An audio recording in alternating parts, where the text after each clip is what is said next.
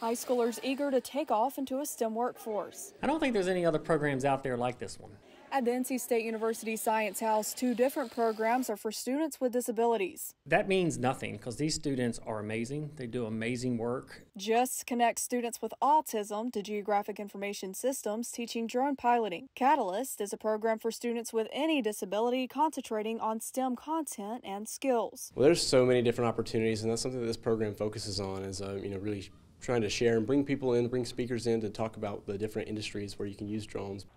According to the U.S. Department of Labor, 80% of people with disabilities between the ages of 24 and 64 years old are unemployed. In North Carolina alone, we have over 225,000 students with disabilities in public schools.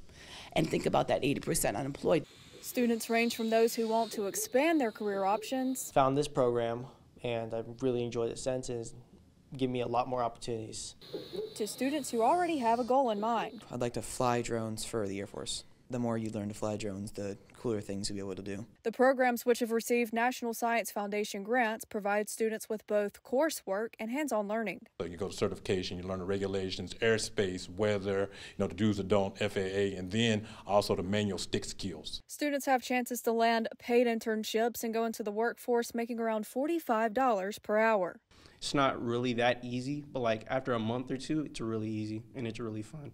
Opportunities such as being invited to NASA, to receiving national awards, those involved with the program say they're proud of all the students as they've gone to STEM fields when they go to college. It's an uh, absolute different feeling sharing and you know uh, uh, imparting knowledge to your young generation. Blumenfield says the program also leads kids to a life of high level employment.